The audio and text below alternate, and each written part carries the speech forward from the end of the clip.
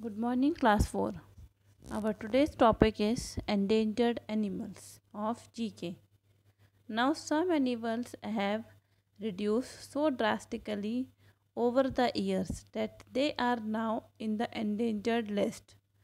Many projects have been launched around the world to save these animals from getting extinct. Now, these endangered animals are walrus, loggerhead, Javan rhinoceros, panda, musk deer, Nilgiri langur. Now these are the animals who have reduced so drastically over the years that they are now in the endangered list. Many projects have been launched around the world to save these animals from getting extinct.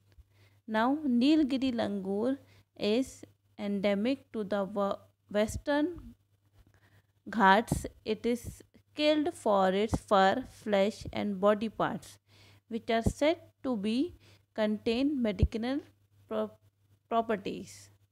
Now all of you do this page in your book.